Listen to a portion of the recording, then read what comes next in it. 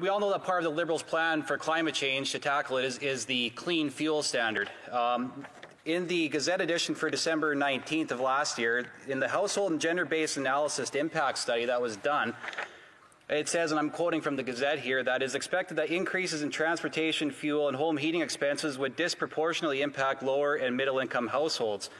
It also goes on to say that single mothers are more likely to live in lower income households and may be more vulnerable to energy poverty and adverse impacts from increases to transportation and home heating prices.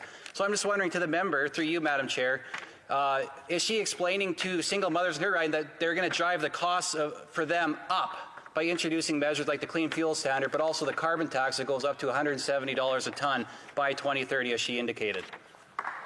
The honourable member for Davenport Interesting much, Madam Speaker, and I want to thank the honourable member for his question. I think it's an important one. I think people, the cost of living is top of mind for all Canadians right now.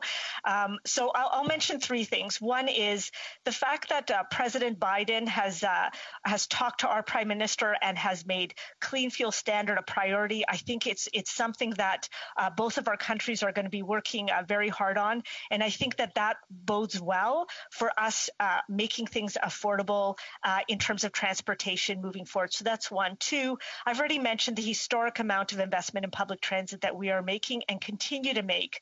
Uh, and I think that that will continue to make it affordable for um, for income levels right across this country. And the last thing I'll, I'll mention to you is we are uh, increasing our climate change incentive um, uh, over the years, and I think that that will also be supporting our families um, it, as we are pushing very aggressively to meet our uh, our emissions targets.